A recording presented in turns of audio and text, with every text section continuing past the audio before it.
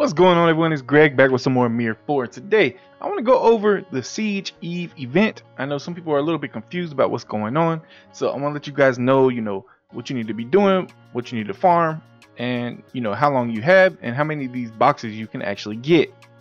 So, let's go ahead and get right into it, and as you can see here, I am on my alt, mainly because I farmed up the items on my main already and already opened the boxes. So I figured let me go ahead and do something on my alt just to kind of show you guys what to do.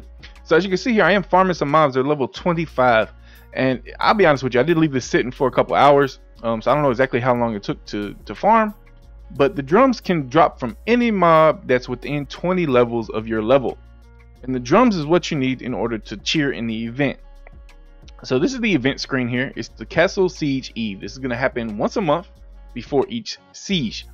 And here you can see we've got right now five days, five hours left this lasts for a total of six days.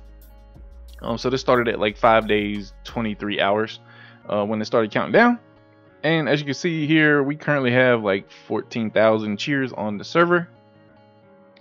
Um, essentially, what you need to do is loot these drums, and you need 10 drums to do a cheer.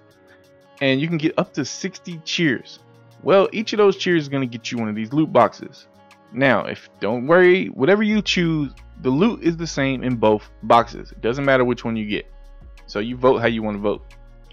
Now, like I said, you're limited to 60, but you're also limited to 10 per day. So once you hit 10 in a day, you can't do any more that day. So let's say you don't do this the first day, you do it the second day, you're you're missing out on those first 10 chests. And these chests are pretty good. I'm going to show you in a minute. So, the drums, like I said, to get the drums you can farm mobs that are within 20 levels of yourself. So right here i'm on level 25 mobs. I just sat on here hit these and collected my drums. I don't know when i hit 100 but i hit 100 it will limit you to 100 which i'm glad of because it was quite annoying to see the little message pop up all the time. I haven't even quite figured out how to turn that off if we can turn it off. But i got tired of seeing that message pop up and i thought we were just going to end up keep farming these the whole time and then the rest of them disappear no, it looks like you can only pick up 100 a day, which I, I like that they did it like that. So once you have your drums, you can do it 10 at a time. Like you collect 10 drums, go ahead and do a cheer, or you can do it all in one time like this. So here I'm gonna go ahead and just do all 10 at one time. So we need 100 uh, drums. I have 100 drums, and for the heck of it, I'm just you know try to balance it out because who knows who's gonna be on what side. I'm just gonna cheers for the defense. So that does that. I get 10 defensive kingdom coffers. And as you can see here, this is now red. This is red because we cannot do any more. Now, this will does not reset at the reset time. It's very important. This event is based on the server time, not the reset time. So, on the server time, this resets every day at 0, 0. So at midnight server time, 0, 0, 0, 0. And that's when this is going to reset. So you need to do this you know, before that time hits, and then it's going to reset and you can collect your 100 again and do it again. And you can do that for up to six days. So 60 of these boxes is pretty nice. Before I open the boxes, let's see if there's anything else we need to cover on this.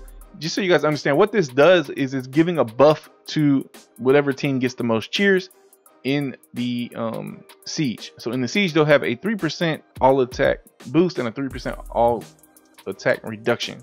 So that's what this is for um, of course, this first war, we don't know who is who because there's no one on defending the castle. It's, it's starting with two brand new clans. So the top two bidders are who are going to be able to get in the war. After that, the defense will always be the same. It'll be whoever owned the siege for that month. So you'll know whether or not you want to cheer for the defense or you want to cheer for whoever is going to go against them, you know? So that's what that is.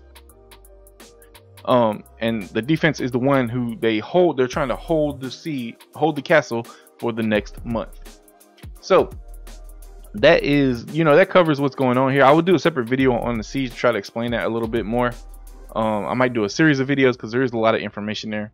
But that's it for this. Um, so make sure you're doing this every day. Make sure you collect your drums and collect all 10 of your boxes and go ahead and open them up. And let's talk about some of the items that you can get inside of them. So as you can see here, I now have, where are they? Oh yeah, they're epic items. My 10 boxes, if you view components, these are the items you can get. You get vigor pills, you know, speed up tickets, energy, copper, um, rare oil, rare, rare snow stuff, um, this divine water. You get Magic Square, Secret peak tickets, Noir Soul, Noir Soul, Soul or Herbs. I can't never say that. Always gets me tongue tied. Some Mystic Enhancement crystals. You get some Epic Potions. You get if you get a summon ticket, you'll get three of them in one box. So if you hit that, you'll get three.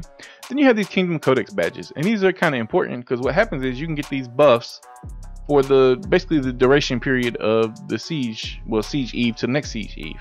So if we go to Codex real quick, show you guys what these look like. In here, you can register those items for different blessings, which are different buffs. Again, it goes from 22 to the 18th of December, pretty much a month of buffs if you can get these. Now there's tradable ones that they can be sold on the market. So that's how you can kind of fill this out even more. But there's quite a few different things here. Me personally, I would like to go for, you know, the experience, maybe the lucky, um, definitely the monster attack damage for farming. And I, I would like the evade and accuracy as well. So that's what we're going for here. Um i mean you can choose what you want but that, that to me is like the biggest things. I mean some of the others still are gonna be nice but you need a lot more of the items. So let's go ahead and see what we get on my alt here. Hopefully nothing too good because my main didn't get anything too good. I didn't even get any of the codex items on my main. So we're going to open all 10 here so you guys can see how this goes. Boom.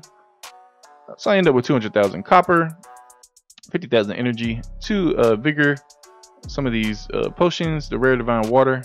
I got a 30% XP potion. That's pretty nice to grab out of there. We got three skill tome tickets. That's pretty nice. We got a speed up, some rare oil, and uh, a secret peak ticket. Not bad at all. So can't really complain. And like I said, you're gonna get this six times during the week. So make sure you're doing this every day. You do not want to miss out on these items.